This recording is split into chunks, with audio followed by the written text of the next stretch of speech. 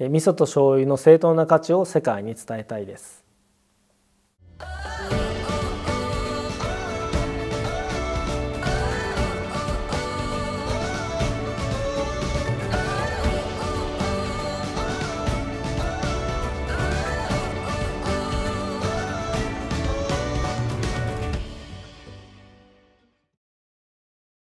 山も味噌醤油醸造元の代目の高橋と申します。私の会社は1867年の大政奉還の年に高橋茂助が醸造業を起こしまして150年近く醸造を続けております。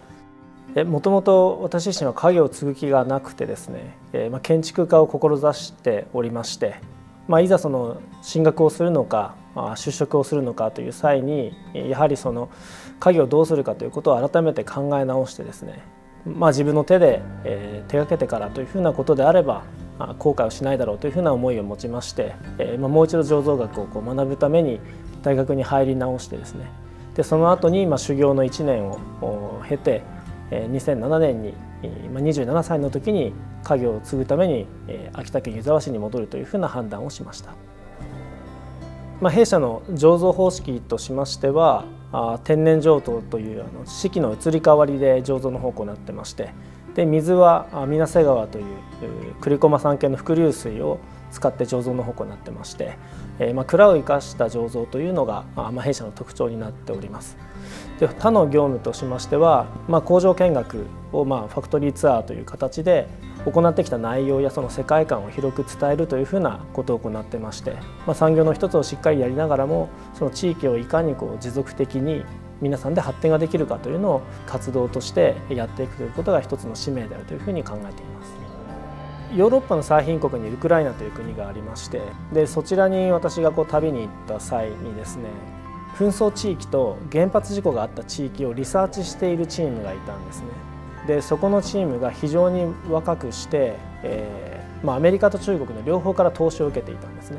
で彼らがやっていたそのリサーチの内容があそういったこう、まあ、危険地帯に入り込んでデザインやアートの力を使って、えーまあ、クールに可視化するということをしていたんですね。地球規模の紛争規模の解決を行おうとしているチームには関係なく投資してるって超かっこいいじゃないですかそれを受けてやってる彼らもめちゃめちゃかっこよくてでそれがウクライナのヨーロッパの最貧国って言われてるところでやってる彼らがやっぱり衝撃的でそれこそやっぱりローカルの精神なのでそれをやっぱり彼らと協業できる自分でありたいのでなので単純にかっこいいからです。まあ、家業を最初に継いだ時にはですね、まあ、習慣的に行ってきたことに対して現代的に合わせなければいけないところを指摘しなければいけないのででさらにですね、まあ、合わなくなったものを整理統合していかなければなりませんのでそういったこう労力がつきまとうことにはなります。それが正しいかどうかというところは誰にも分からなくてですねまあ、経営者は全てそのある種合理性のみならずその主観領域で決定している、まあ、それが私は最も重要なことなのではないかなと思っています。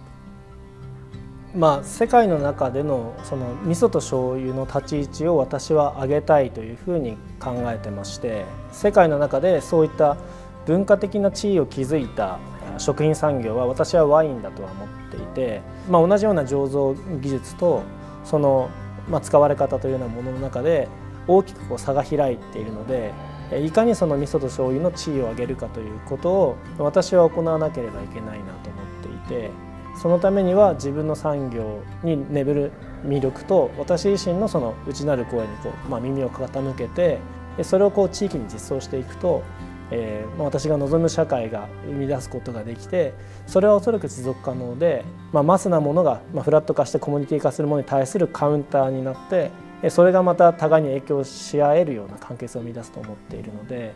まあ、そういった社会を作るための一つの手段としてえー、味噌醤油の産業を担っていけたらなというふうに考えています。